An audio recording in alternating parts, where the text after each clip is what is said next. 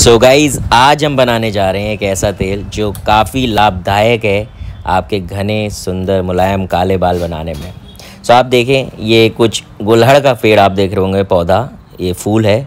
इसका भी इस्तेमाल किया गया है तेल में इसलिए मैंने आपको दिखाया है। सो so सबसे पहले तेल में आप गुल्हड़ का फूल गुलहड़ के कुछ पत्ते प्याज जो कि काफ़ी स्पेशल है प्याज मेथी दाना कलौंजी और कड़ी पत्ता ये सब डाल लें अच्छे से तल लें।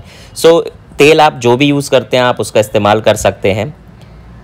मैंने फ़िलहाल यहाँ पे नारियल का तेल का इस्तेमाल किया है। तो अच्छे से इसे पका लें और जब तक पकाएँ जब तक ये मिक्सचर सारा काला ना हो जाए पकते पकते सो so, उससे क्या है अच्छी तरीके से सारी चीज़ें मिल जाएँगी।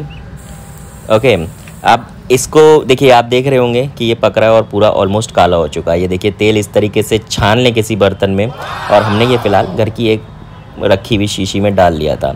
सो इस तेल का हम खुद इस्तेमाल किया है। अब मेरी फैमिली में मेरी वाइफ ने भी इस्तेमाल किया है बाकी घर में भी लोगों ने इस्तेमाल किया है। सो काफ़ी इफ़ेक्ट पड़ा है। आप इस तेल को यूज़ कर सकते हैं and trust me guys effective है। सो so, हमने खुद पर्सनली यूज़ किया है इसलिए हम आपको बता रहे हैं। आप चाहें तो इस्तेमाल और एक देसी नुस्खे हैं जिसका कोई साइड इफ़ेक्ट नहीं होता है। So so, like